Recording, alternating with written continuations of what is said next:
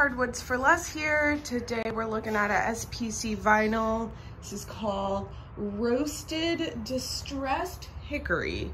It is a special SPC as it does have a veneer of real hickory on top.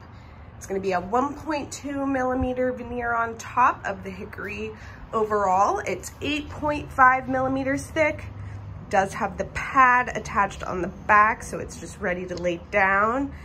These are seven and a half inches wide, and as you can see, this hickory is just beautiful.